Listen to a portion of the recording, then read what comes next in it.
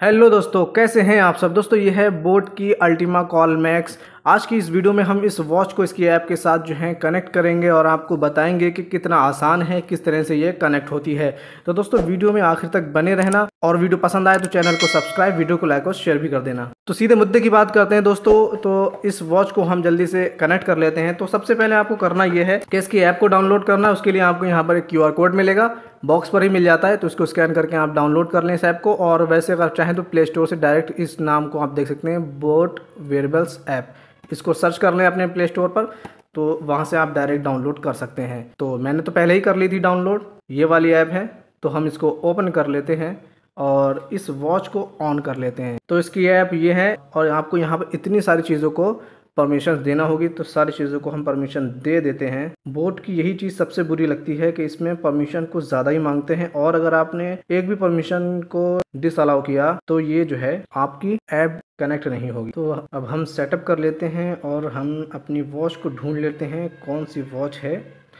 ये वाली हमारी वॉच है वेब अल्टीमा कॉल मैक्स इसको सेलेक्ट करना है सेटअप करते हैं, और अग्री इनेबल ब्लूटूथ अब यहाँ पर हमारी वॉच जो है सर्च होने लगी है और देखते हैं, ये जो है देखती हैं आप हमारी वॉच आ गई है और इसको कनेक्ट करना है और ये हमारी वॉच जो है कनेक्ट होने लगी है दोस्तों। हमारी वॉच जो है सक्सेसफुल कनेक्टेड हो चुकी है। अब यहाँ पर आपको प्रोफ़ाइल सेट करना है, वो आप कर सकते हैं।